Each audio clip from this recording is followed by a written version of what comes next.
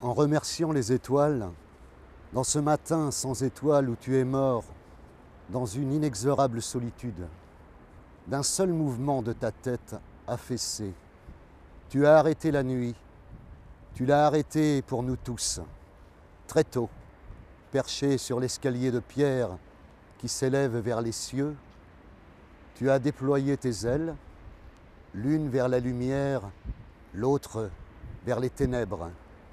Tu as allumé la dernière bougie de ta résistance et en souriant, peut-être, tu l'as offerte au jour naissant.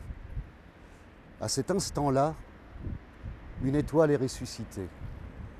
Et tu m'as laissé tes yeux pour que je puisse regarder la vie comme un miracle. Après tout, la nuit finira. Une aube nouvelle éclairera le monde. La porte va s'ouvrir et la grande parade des cieux des déserts célestes va commencer.